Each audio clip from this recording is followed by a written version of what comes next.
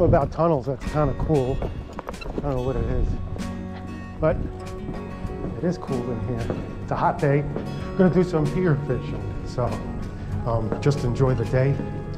Got the pier rod, fly rod too, so we might be doing some of that. And I do not know what's going on, so we're gonna take a look around. It looks like we got a lot of the place to ourselves. So, all right, let's get set up and I'll see what goes on. Ooh, I was just cutting bait. Oh, it's a good one too. Oh boy, he's digging in good. It's a good one. That could be the fish of the day. Probably. Ooh, ooh, big porgies, big porgy. Beautiful. Big porgy, I knew they were out there. Oh boy.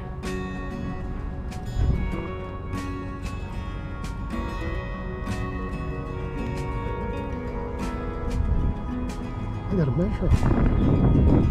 I was cutting bait too, I wasn't ready for that. Let's see, I have my cooler was open. Let's go mess. Oh yeah. He's a keeper. But I'll tell you what, we should have been keeping fish today. We're gonna have some nice dinner. We start roiling them in. I'm gonna keep a few. We're gonna let them go. That's a beautiful porgy. I can catch those all day long, close to 12 inch. All right, there you go. We'll be fishing today with clam and squid baits here on the Robert Moses fishing pier. I'm getting a couple nice bites out now. A little bit of a rip out there. And I'm walking the bait through. I don't like to keep that bait on the bottom and walk away. I like to search the area, see what's going on, find little dips. See, there's, there's definitely, there we go. There we go. Let's see what this is all about. Could be a porgy. Oh, we got off. No, could be a porgy sea bass. It's likely sea bass, which is good. If those sea bass are down there, that means that there's other stuff and the bottom is alive. It's kind of just, I think it's kind of still coming up. And I'm, that's a little bit, we're trying to catch every last thing. I go a little smaller. I'm starting a little big. You can see I got big bait on, high-low rigging. Checking out the bottom. I want to my clam are now in smaller size pieces. Um, kind of see what's going on. We can always go bigger. Still kind of big, still kind of big. But I'm just keeping it a little big. But small enough. Some big, some small. I line in the water now. I'm just fishing here. This is the Robert Moses Pier. I have some squids too. Cut some squids. Squid is good. It really stays on that hook. It's got a good scent. Triggerfish. I like cubes. You know, it looks like a mess. See, I think this might be cuttlefish. My knife is not too sharp, so you'll have to forgive me. That is all good enough.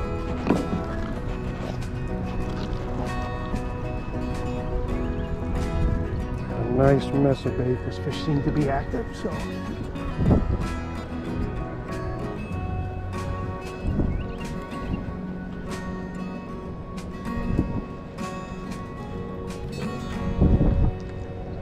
Cut a little more.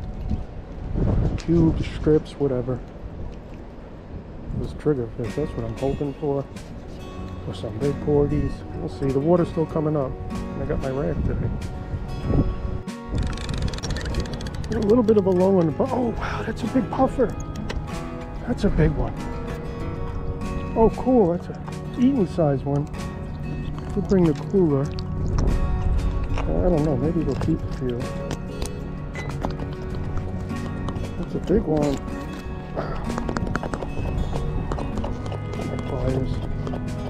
I start reeling them up and over, I'll keep a couple. Oh boy, look how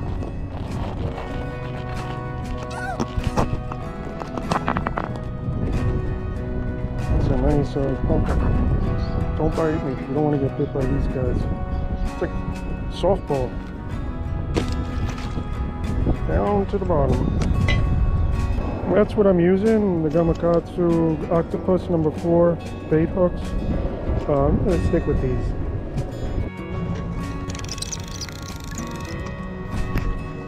And you're gonna get them right down below.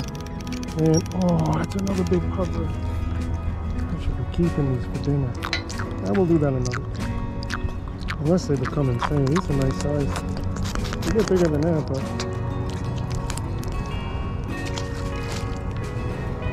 hook on. And uh, I tell you what, I really love the complex simplicity of, of bait fishing. It's, uh, if think about it, it's a complex simplicity. A lot of people don't realize that. And those are your best things in life. Like a Penn reel. Alright, let's get this hook on and uh, see what else is out there. What's that?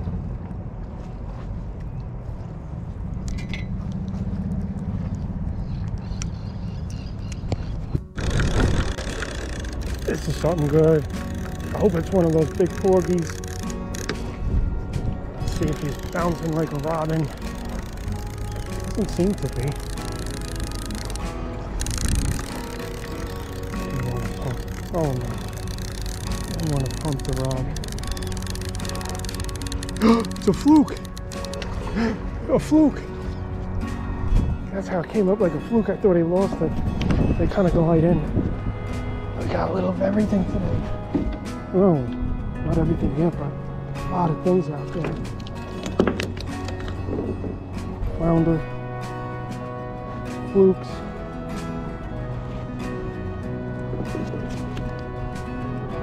That is cool. Ooh. White porgy is three times as big as him. Got flukes, big porgy, big blowfish, lots of sea bass. I don't even have more on there. Um, some clam and squid. And well, I didn't pay mine what he took, but something like that, I'm keeping the bait big. This is the rig I'm using. It's the high-low rig. I got on two ounces overhand knot. Surgeon's knot. It's my Gamakatsu size 4 snell bait hook. Oh, about 18, 20 inches. To my, again, snelled.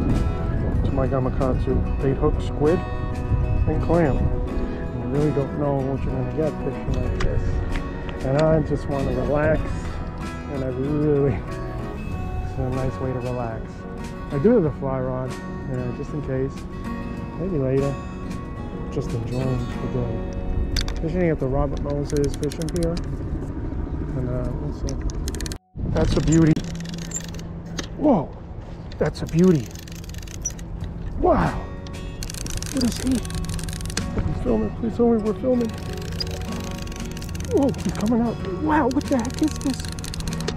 I just, oh, it's a keeper fluke. No, huge trigger fish. Big trigger. Wow. Whoa. Look at him lunge. Get him up. Whoa.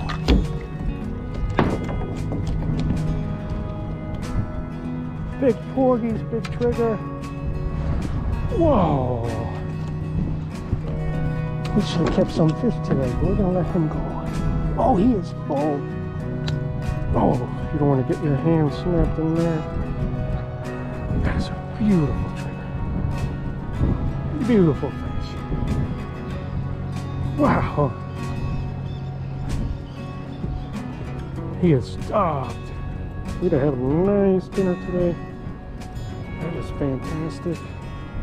Oh boy. Oh man.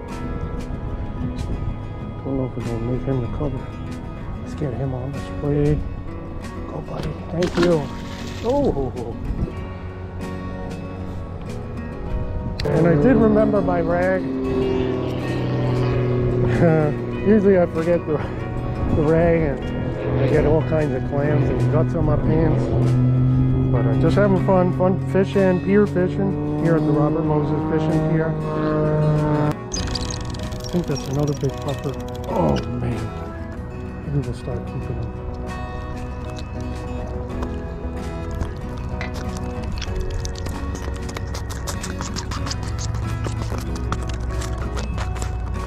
They'll bite the tip of your finger off. Working with the high-low rig, clam and squid. So I'm consistently taking note if they're hitting the bottom more, top more, squid more, clam more. They seem to be bottom and they seem to be liking clam and squid about the same. I can't figure that out yet. I think that bottom hook is your most important hook. Other times that top's going to be your important hook. There's so much action. I don't think it matters.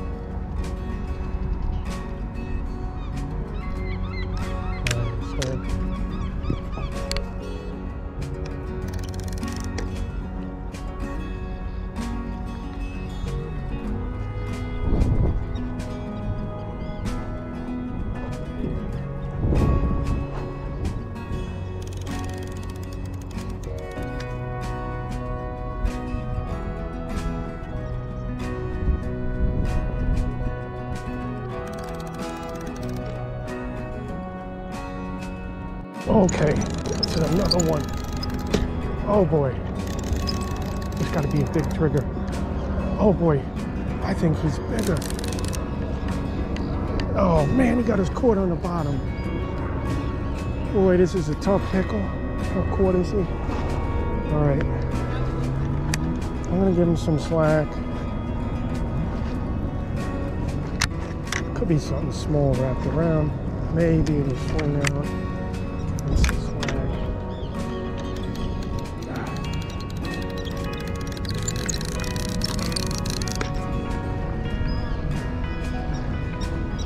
Unless it's a stargazer.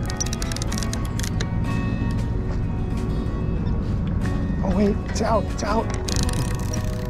Oh, we got him out. We got him out. That's, that's the fish.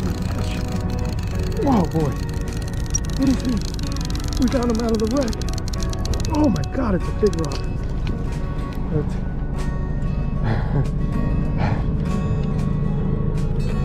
got him out.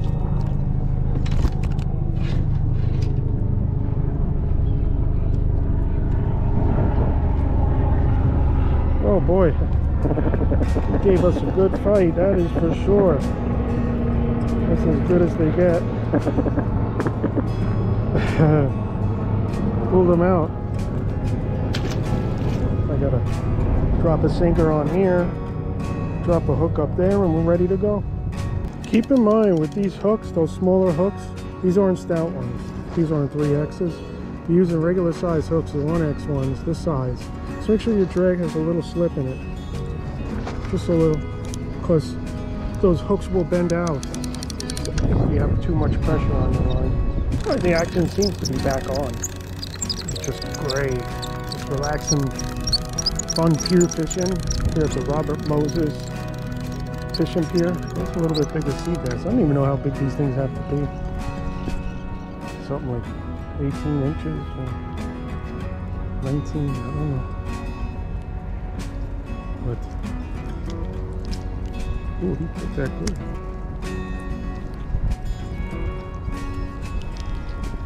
Oh, Loop around. It's alright. Some more clam. Sometimes when you're fishing, you're thinking about, I'm thinking about the fishing that I'm going to do. And sometimes when you're fishing, you're thinking about the fishing you're doing. This is what I kind of like this. I kind of stand here, relax, think, and think about fishing while I'm doing the fishing. But you can also do the fishing and think about the fishing. I don't know if you guys know what I mean, but I think that, you know. We got a little, wait, oh, he's got some holes in him. It surprised me. Whoa, whoa, oh, it's a fluke. It's a fluke. It's a good fluke, too. Let's get him up. Maybe the wolf can come off. Oh, there he goes. See, they often come on. These hooks are great. I love the monofilament line when I'm fishing like this, just because if I break off, I'm just retying right up the line forever. I don't have to fumble around with leader. There's a bait bird over there. I don't have to fumble around with leader. Um, just tie the tie the rig straight through. That's why I go with, always go with, try to go with the monofilament line with bait fishing like this. Uh, it just makes sense, just easier. The water's starting to move now. Well, bait's getting hit now, probably snappers. Snappers hitting them. And there's plenty of these here, plenty of these here small sea bass. A little bit of everything today, everything. Fluke, big porgy, big triggerfish, all the sea bass you want. 90s keep big uh, blowfish. Um, I don't know if I left anything out. I'm surprised we didn't get any kingfish, but they're they're out there. At nighttime, you're going to get a whole new condition set too, which is going to be turning soon. So he just nailed that. That's a good fish. I don't know if he's throbbing. Let's see what he is all about. Coming in now. See what he is. He's really big. That is one of those big robins. Wow. So I'm going to be getting out of here. Just an amazing day fishing. We got big sea robins, of course. Big sea robins.